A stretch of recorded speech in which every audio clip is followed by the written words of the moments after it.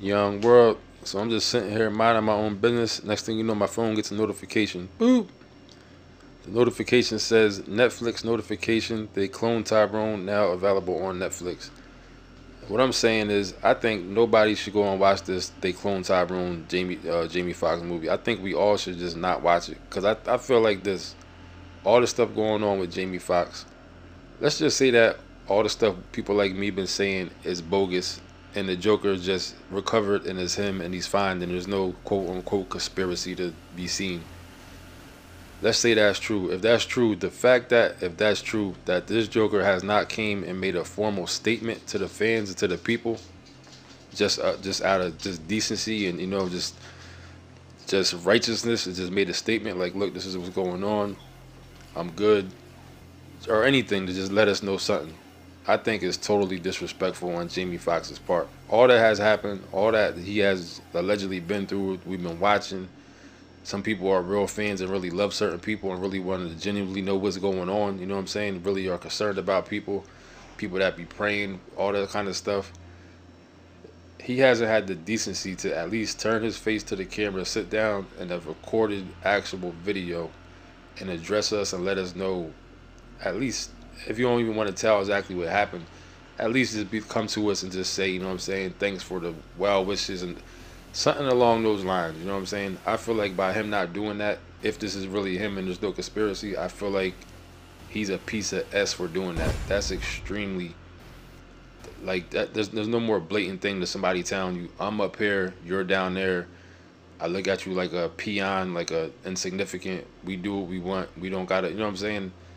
That's that's that's how, how I see that whole type of situation. So I, I feel like just for that alone, and also like just for the whole thing, if they're playing into all the stuff they did just to, for this movie to blow up and to get the extra, that's disrespectful to everybody who's who's a Jamie Foxx fan. You know what I'm saying? That's just totally disrespectful to anybody who might be interested in anything that Jamie Foxx does.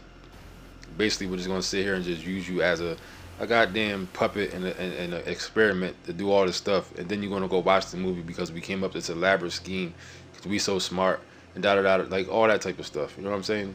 Because if nothing's really wrong with him, it's just it's really Jamie Foxx and there's no conspiracy. This is what I picture them saying inside the board meeting about this movie. This is the, the, the promotion and marketing in this movie. This is what I picture them saying ooh, ooh, ooh, we're gonna act like something happened to me. Then we're gonna act like um, we, we, all the stuff's all weird and messed up, and all the different information coming out. Then then we're gonna act like I'm a clone. Then we're gonna put information out. My daughter gonna say this. Then I'm gonna come around looking weird. Then I'm gonna act like we're all. Then they're gonna eat. When it comes out, they're gonna they call the movie Clone Tyrone. Then when it comes out, they're gonna go rush and see it because they, all that type of stuff. That's what I picture them saying in the board meeting of the marketing campaign and how they're gonna roll this thing out. And we're just not that goddamn gullible and dumb. If this was five, ten years ago, maybe that would have worked. Too much real things have happened up until now for us to just be just running to that. You know what I'm saying? You got to be more creative than that. We ain't that goddamn slow. So that's why I'm saying I don't think nobody should even watch this damn movie.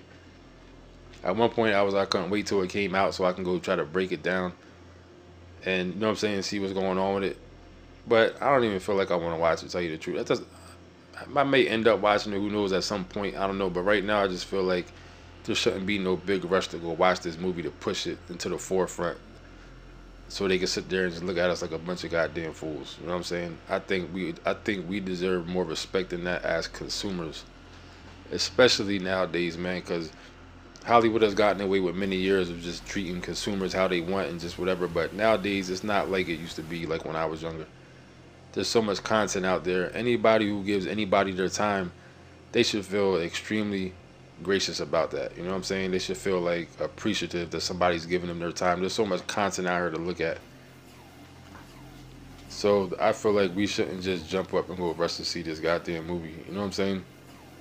Now they talking about yesterday the Joker is out here taking pictures with a Formula One F1 car or something like that. You know what I mean? Just this is bogus stuff, man. The whole story don't make no sense of, of, what happened to him or whatever's going on. But at the very least, if this is, if, at the very least, like I said, if there's no conspiracy and he's just recovered and that is what it is, he's just, he, there's nothing that should have stopped him from coming out here and addressing the public and make just making a, a statement. You know what I'm saying? Say any goddamn thing. Just out of decency and respect. So yeah, I feel like nobody should even go watch this damn movie until we get some goddamn answers.